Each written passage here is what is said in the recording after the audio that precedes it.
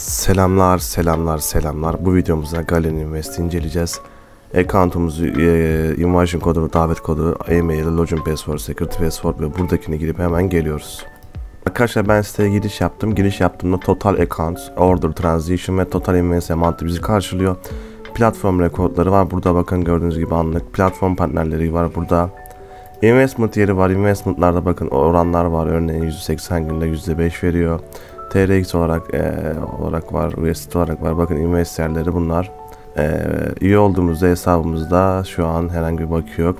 Bakiye yatırmak istersek buradan yatırabiliyoruz. Investment e, bakın burada davet yeri var. Arkadaşlarımızı davet edebiliyoruz. E, davet ettiğimiz arkadaşlarımız üzerinden komisyonlar kazanabiliyoruz. Burada e, senin dediğin Türkçe yapabileceğimiz yer. Yorumlar kısmı burada rakamı Walter Form'da. İlk seviye %10, ikinci seviye %5, ikinci seviyede %3 veriyor. Yani davet sistemi ve genişler. Telegram grupları var. Burada WhatsApp şeyleri var. Bakın gördüğünüz gibi burada inceleyebiliriz. Ee, burada bir airdrop var. Airdrop'a katılabilirsiniz. Bakın ben katıldım. Buradan tekrar yükle diyerek e, bu adrese TRX gönderebiliyorsunuz. 10 tronluk ben bir gönderim yapacağım. Adresi yapıştırıyorum. Buraya 10 yazıyorum. Send diyorum. Sign diyorum. Gönderimi tamamladım. Ee, istersen QR kodla da yatırabilirdim bu arada. Geri geleyim. Bakın 2.68'lik bir airdrop verdi bize. 10 tronda biz yatırdık. Takım kısmı var burada. Ee, coin exchange kısımlarından e, exchange edebiliyoruz bakiyemizi transaksiyon kayıtları, burada airdrop'tan aldığımız para, register olduk.